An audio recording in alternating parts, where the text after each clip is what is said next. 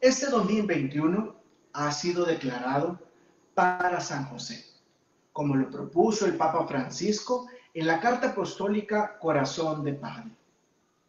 Esto en el marco del 150 aniversario de la declaración de este santo como patrono de la Iglesia Universal. De ahí que haya convocado a todos los cristianos para mencionar eh, o conmemorar el año como el año de San José. Y como movimiento católico de familia, respondimos y acogimos este llamado, donde hemos realizado varias acciones encaminadas a la promoción y su conocimiento.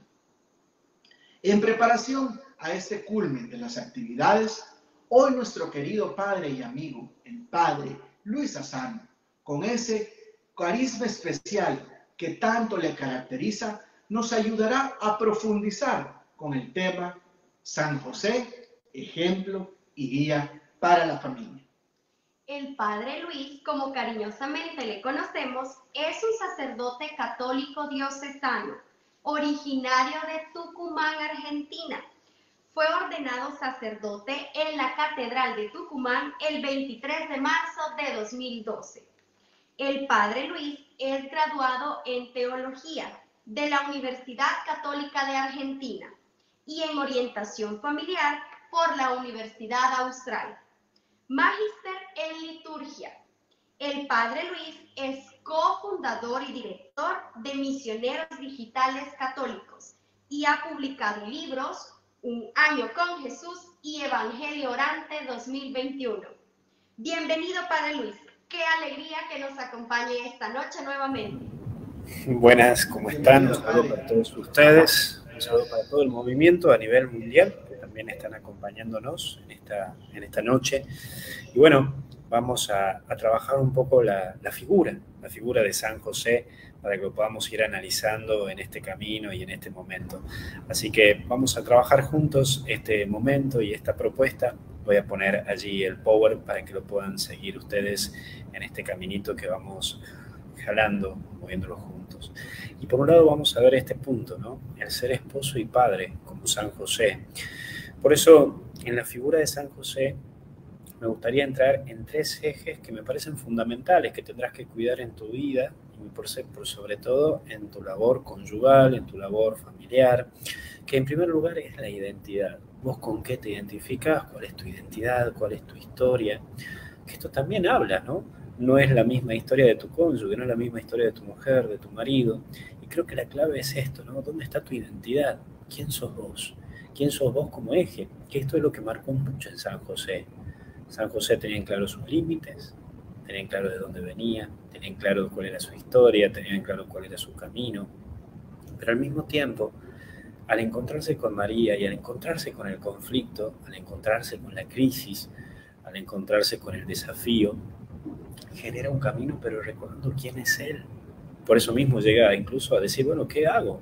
Y por eso tuvo ese sueño, el sueño en que el ángel Gabriel le manifiesta cuál era la misión. Pero uno descubre su misión cuando descubre su identidad.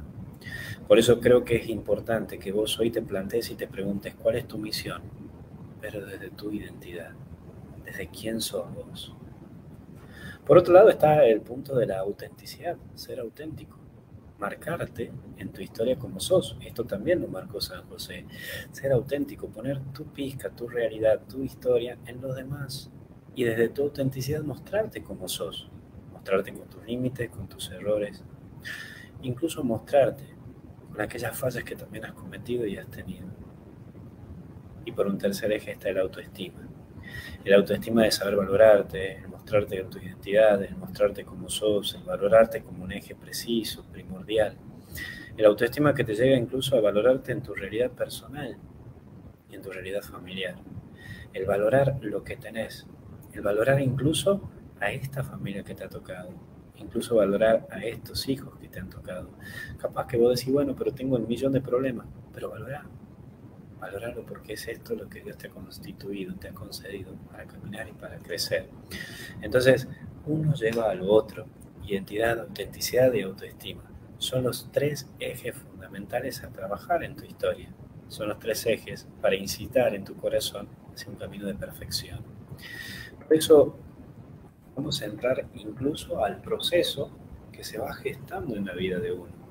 Y por un lado está esto de la pasión. La pasión vos sabés que es algo que gesta nuestra vida. La pasión, y esto dejando de lado la figura de San José, sino que es más bien en el proceso de tu vida y de tu historia, por un lado entras en un estado pasional, cuando te dejas llevar, y por eso lo pongo el término los fuegos artificiales, porque son esas cosas que, que son momentáneas, que son del momento, lo pasional. Esto de, bueno, ahora estoy entusiasmado con esto, estoy entusiasmado con el otro, y ese fuego artificial tarde o temprano se termina. Por eso cuando uno lleva un camino de inmadurez, de adolescencia de vida, cae en una fogosidad de vida, en una pasión y en un apasionamiento, en donde mitad actúa con pasión y en mitad se miente porque idealiza las cosas. Y, qué interesante que vos te puedas plantear esto.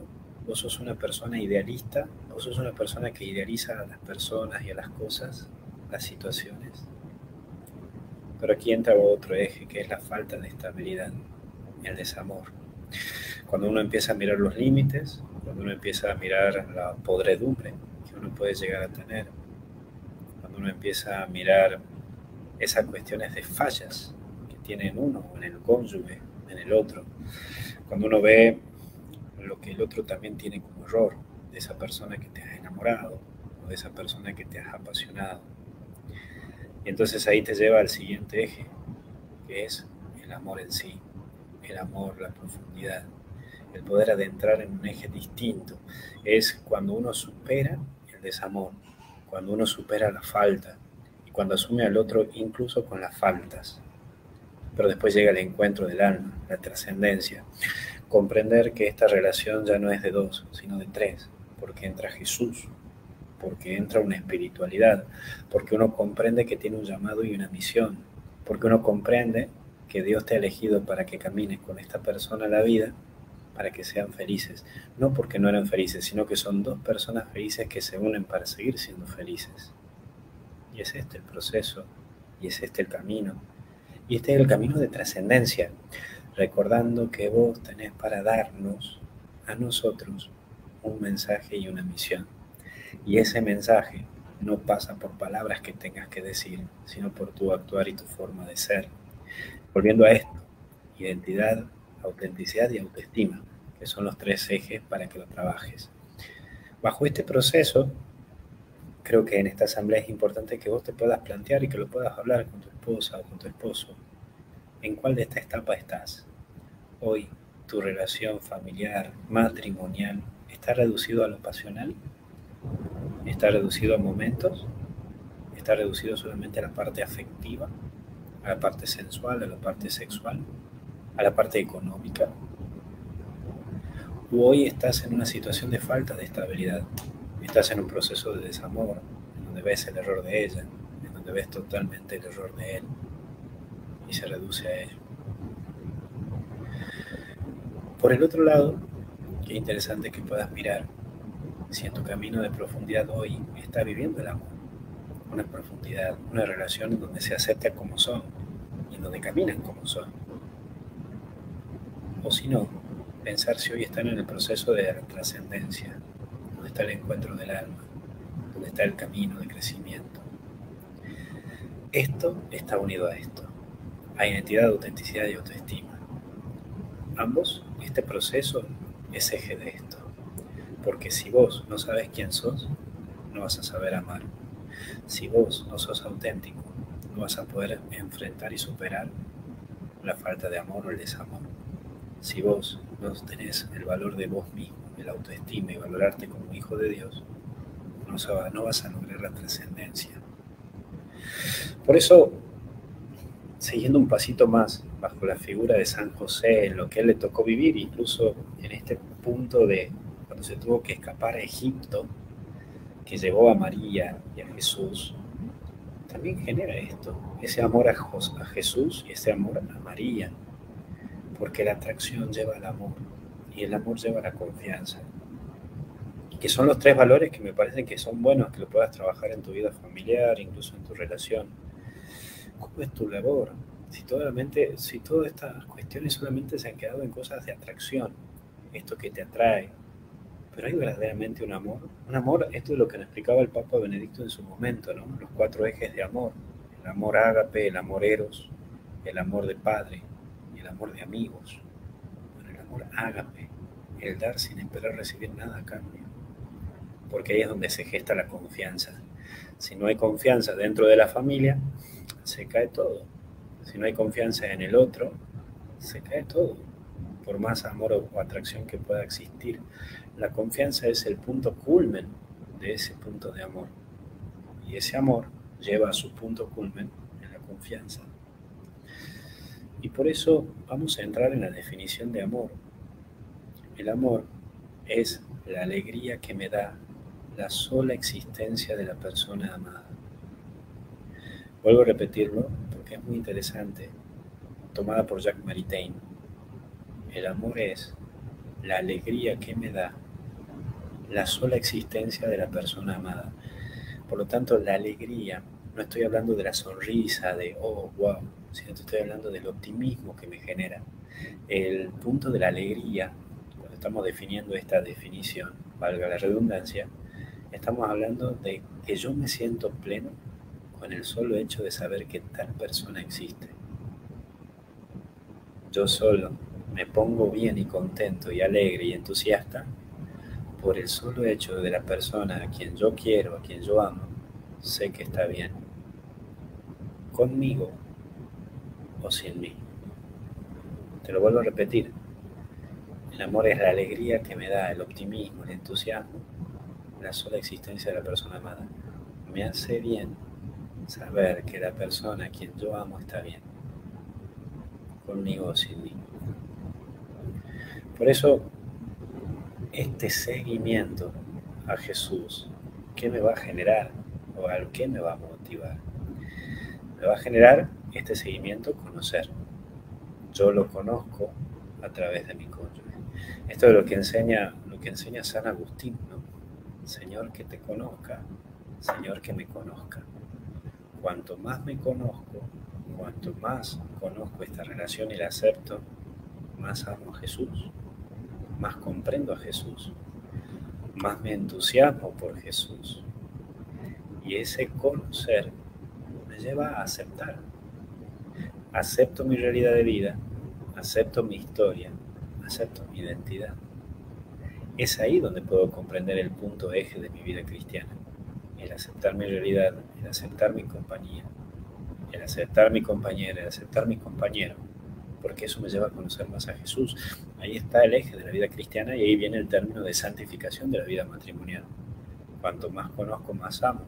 Y cuanto más amo, más acepto.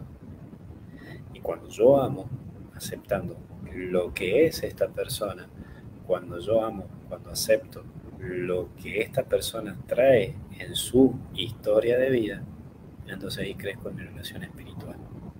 Ahí crezco en la visión de trascendencia de lo que implica la vida cristiana, el tener una visión sobrenatural, porque es esto también lo que vivió José. Conoció a Jesús, aceptó lo que tenía que llevar adelante con Jesús, porque lo amó. Vos, ¿cómo vas a poder llevar adelante toda esta historia de vida que hoy te toca? Aceptando tu realidad. Y una vez que aceptes tu realidad, aprender a amar. ¿Cuál es tu total realidad? Pero ¿cómo se inicia todo esto? Conociendo. Por eso es importante que vos puedas mirar tu historia, tu camino y tu trascendencia en todos estos ejes, en que vos puedas discernir todo este camino de trascendencia que vos mismo vas gestando y que vos mismo te vas, te vas generando en esta historia de vida, con todo lo que afecta, con todo lo que implica, con todo lo que, que te lleva al entusiasmo de vivir, de gestar, de generar y que por sobre todo puedas vos descubrirte en sí, que vos puedas caminar, que vos puedas entusiasmarte y que vos puedas llenarte de esto que es Dios.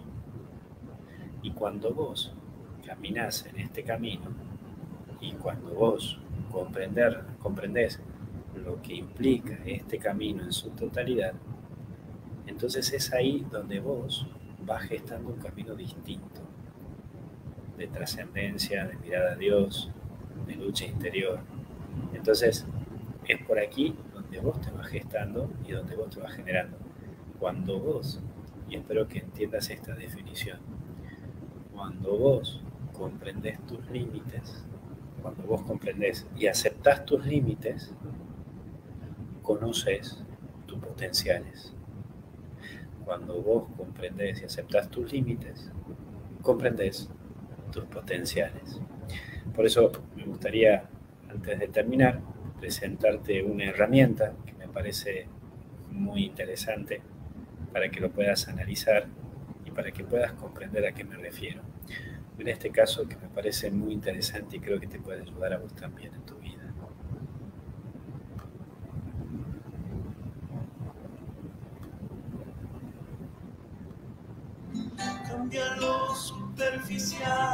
cambia también lo profundo, cambia el modo de pensar, cambia todo en este mundo Cambia el clima con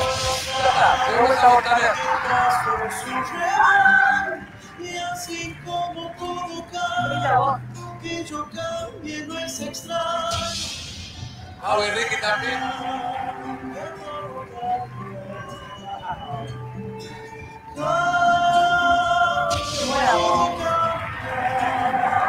Soledad también. Todos los cuatro se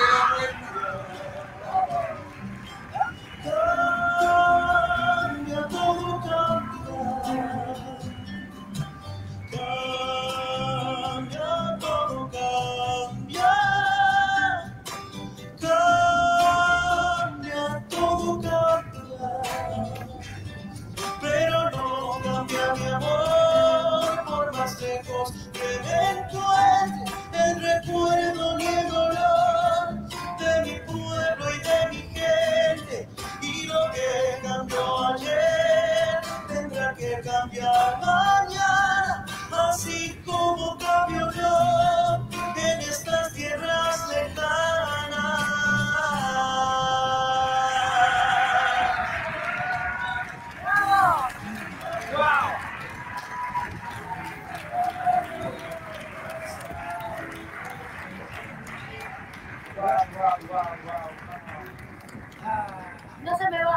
Dan En serio, es fuerte. No se me va. ¿Cómo te llamas? Yo me llamo Francisco. Ajá. eh, soy de Córdoba, de Colonia de Tirolesa. Tengo 20 22 años. Y, y, eh, te voy a hacer una pregunta. Explícame por qué me hiciste llorar. La verdad, mm, no sé cómo explicarle, o sea, como que quería llegarle. Eh. Gracias.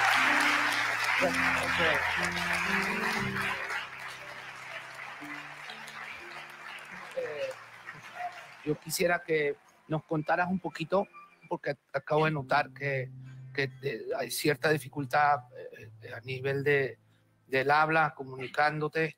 Este, y si quieres contarnos algo de eso, estamos aquí.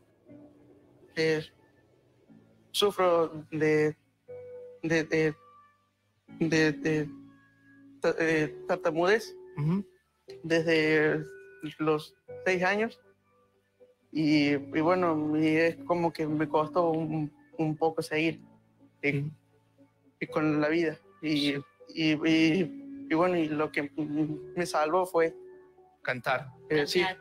Eh, es como que como que lo que no puedo decir. decir, lo, lo Ay, canto para, para que le llegue a la gente. Yo, a mí me, me encanta mucho cantar con el corazón para que, el- para que le llegue a la gente.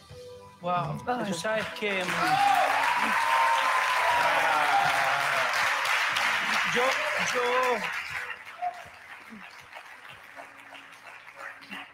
yo te voy a decir algo, bro. Hay mucha gente en el mundo que canta muy hermoso, es la verdad. Hay mucha gente que canta hermosísimo, mejor que todos los que estamos aquí y todo eso. Pero hay gente específica que Dios escoge para tocarle la vida de la gente, men y a ti se te nota más de lo que tú puedes imaginar. Y yo creo que tú ni te has enterado todavía lo mucho que Dios te va a usar a ti. Este programa está hecho específicamente también, para br- brindarle la plataforma a gente como tú, para llevarle un mensaje de esperanza y de amor a la gente que está viendo que lo necesita. Y cuando alguien canta de la manera que cantas tú y comunica de la manera que comunicas tú cuando cantas, no hace falta que hables, no hace falta que digas más nada, porque lo, con lo que tú dijiste cuando nos cantaste, dijiste todo. ¿Ok? Gracias, le agradezco muchísimo. Bueno, esto que estamos haciendo nosotros es tratar de convencerte para que vengas a nuestros respectivos equipos. Creo que nunca sentimos tanta necesidad de tener a alguien como vos en el equipo. Estoy con un nudo en la garganta. Quiero decirte que elegiste una canción muy especial para nuestro país, para Latinoamérica, pero particularmente para nuestro país. La mejor versión de esa canción, sin duda, es la de Mercedes Sosa. Y la tuya no está tan lejos. Oh, Vos sabés que a mí me llegaste desde acá. Lo que, lo que me emociona de vos es que te transformás. Que es algo que me pasa también a mí. Es como, vos estás ahí parado con tus manitos así, como quien no quiere la cosa, después de habernos hecho llorar a todos. Y decís, bueno, es como si yo no hubiese querido todo esto. Y yo, con toda esta emoción, te digo, convencida de que vas a llegar muy lejos en este programa y en la vida, porque ya has dado un paso maravilloso que me encantaría y deseo de todo corazón que estés en mi equipo, porque no muchas personas logran lo que lograste vos hoy. Tenés una voz privilegiada, limpia, profunda, que hiere el corazón, pero de la manera más linda. Creo que es importante que podamos discernir a través de Francisco, este muchacho Francisco Benítez, que fue el ganador de la voz argentina de aquí, que ha marcado cinco puntos para que también lo pienses. Primero, cuando reconoces tus límites, descubrí tu potencial. Segundo, aceptar tu identidad implica también aceptar lo que amas. En este caso de Francisco, su música. Bueno, fíjate que es lo que hoy te, te toca aceptar a vos. Tercero, Francisco logró superarse a sí mismo, pero reconociendo su realidad. Creo que es importante en tu vida familiar reconocer tu realidad, como hizo San José. Reconocer, no renegó de lo que le tocó, lo aceptó. Cuarto, es aprender a descubrir que cuando uno verdaderamente lo hace desde el corazón, puede mover cielo y tierra.